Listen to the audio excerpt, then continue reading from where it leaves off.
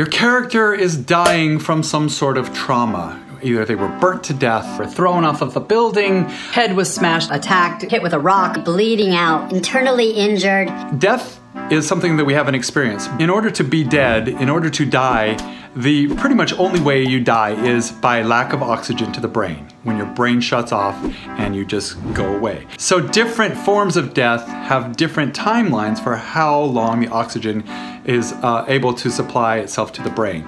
If you're bleeding out, your oxygen's going to disappear from the brain pretty fast. If you've been hit internally or something like that, you might be able to last a little while, but you're going to start getting loopy.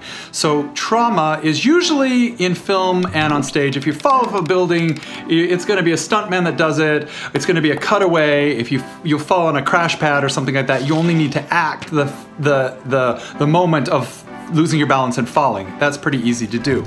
But if you are uh, just dying from an internal injury or something like that, you want to really just be very specific about where that injury was, what trauma was done to your body, and then substitute something that feels like it. So if you've broken a bone, that might be a substitution for um, an internal injury in your rib. If you're dying from a head blow, you know, you're going to probably be bleeding out and probably have had some sort of smash smashing of the bones or something in your brain, and that is causing the, the brain to lose its focus. So you might move into a delirium state. You want to like draw upon any time that you felt drunk, out of it, delirious, sick, having hallucinations, because that's going to give you that that kind of acting moment. And you know, dying convincingly can be done on a number of different ways, but just think of the, the blood rushing out of your brain, the, the internal organs bringing the blood out of your brain, and then slump over and die. Lose your focus, flutter your eyelids, bring it down. You don't have to indicate anything, just feel like you're passing out, and you will die.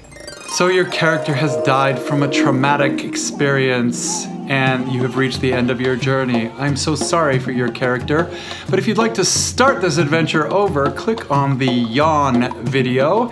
And if you would like to just spot check some of the videos that you might have missed, click on the playlist. And if you don't want to do either of those things, try this video because it's something completely different.